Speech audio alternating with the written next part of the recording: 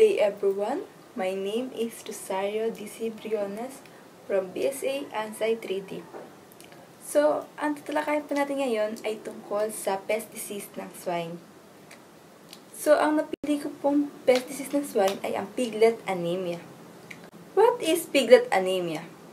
Piglet anemia, also called iron deficiency anemia, is a hypochromic microtic anemia generally associated with rapidly growing piglets deprived of iron in their diet or from their environment.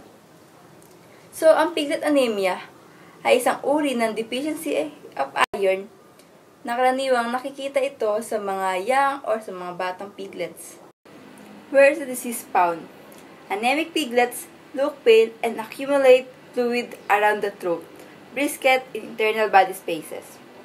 So, usually kapag anemic ang isang tao or hayop, karaniwang nakikita sa kanila yung kanilang pamumutla.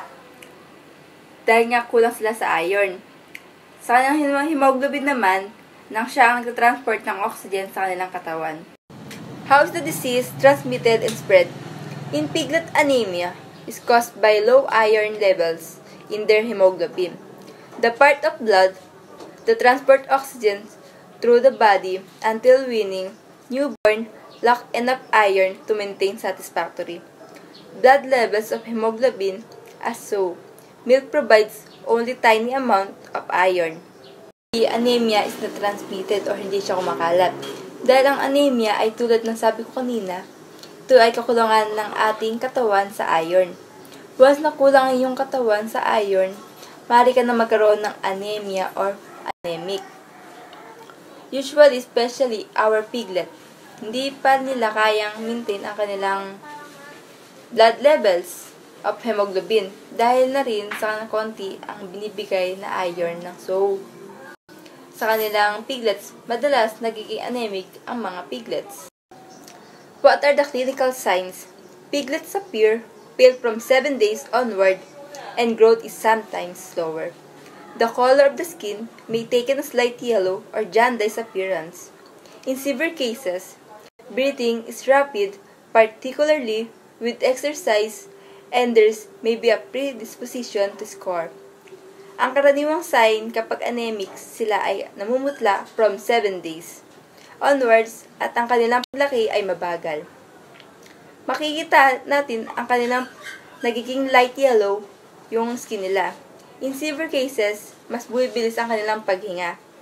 And ang clinical signs o symptoms ng disease ay since nakulang sila sa hemoglobin, siya ay mahina or nawawalan gana na silang kumilos.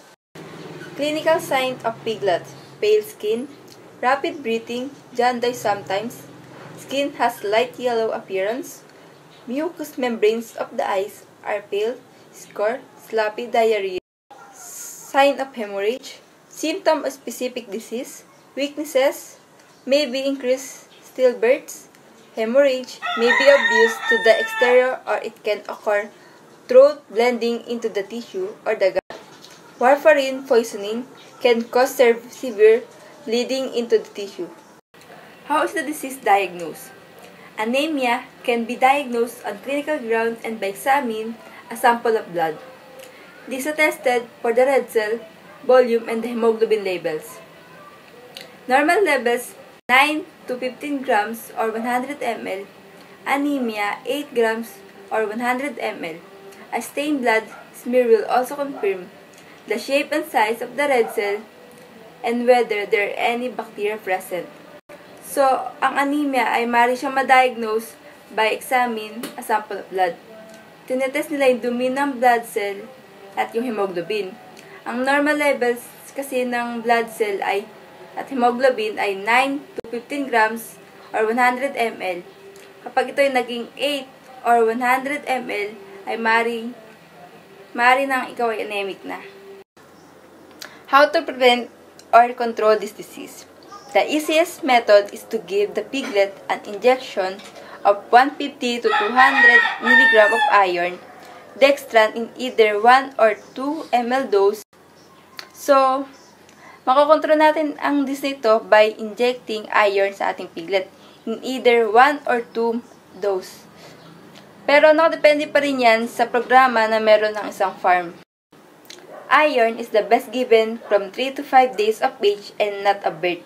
A 2 ml dose at birth causes considerable trauma to the muscle. Oh, so, binibigyan natin ang ng irons ang mga piglets sa edad na 3 to 5 days of age. Maaari natin silang injectionan sa muscle at hind leg or neck. Iron can also be given orally, but this method is time-consuming and the pig must be treated on 2 or 3 occasions and 7, 10, and 15 days of age. Oral paste available at Adlib have been used, but the uptake within any litter is variable, and a few piglets remain anemic.